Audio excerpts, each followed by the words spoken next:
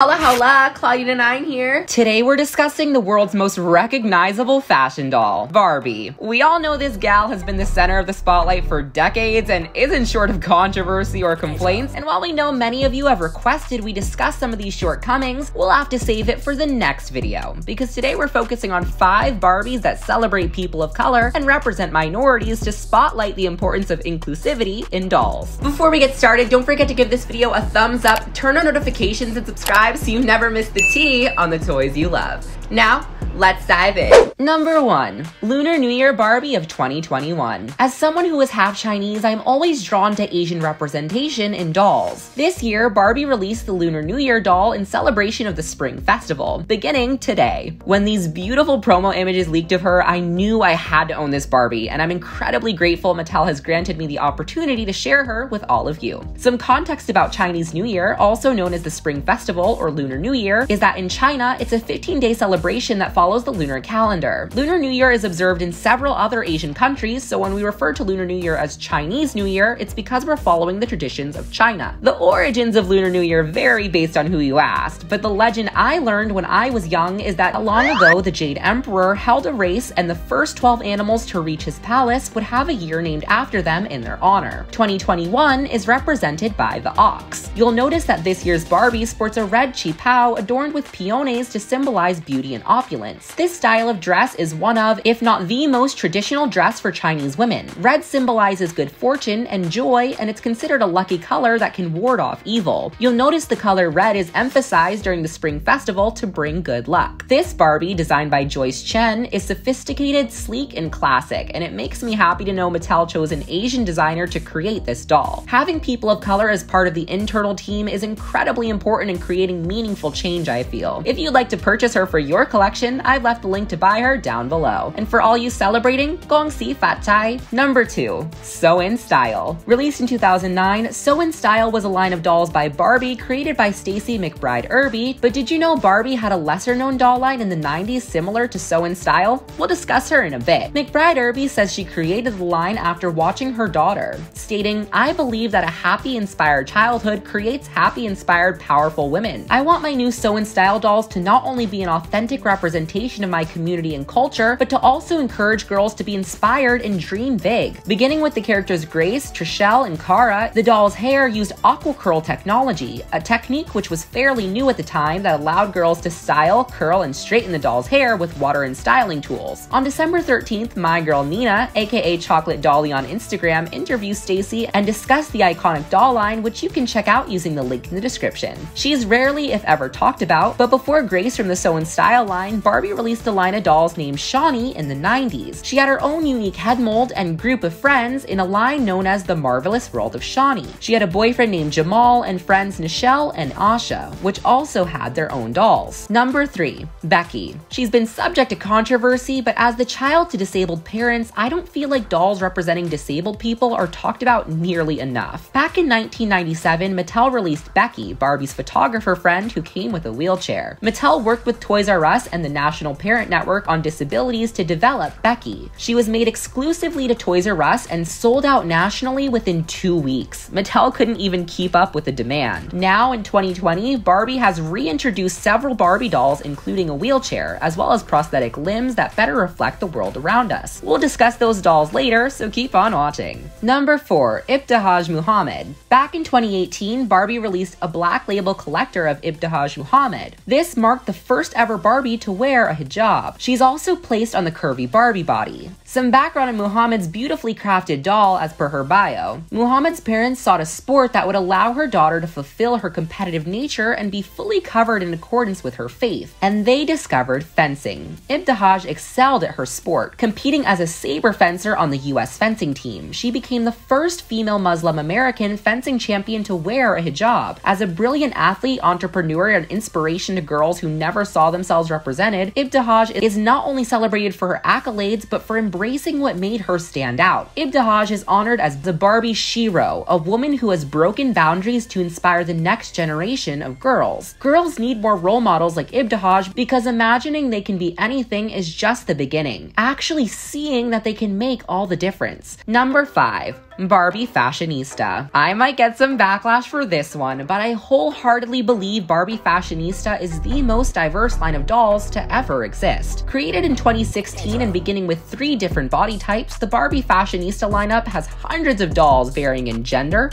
color, hair texture, abilities, body types, eye colors, eye shapes, the list goes on. I believe Barbie Fashionista's diversity and inclusion should be the standard of what dolls look like moving forward. Mattel has undeniably created a lineup of dolls almost anyone can resonate with or see themselves in. While I myself am Asian, I believe it's important that all people feel represented by the toys they play with. And I hope to see Mattel continue the path of creating dolls that represent the world around us while simultaneously including quality improvement we all desire. I know we only covered five dolls, and there's so many different cultures and backgrounds backgrounds that need to be represented. Let us know down below what you'd like to see more of for the future of dolls. If you enjoyed today's video, you'll love all my other videos discussing all the doll tea, which you can check out in the description below. Don't forget to give this video a thumbs up, turn on notifications, and subscribe. As always, thanks for watching.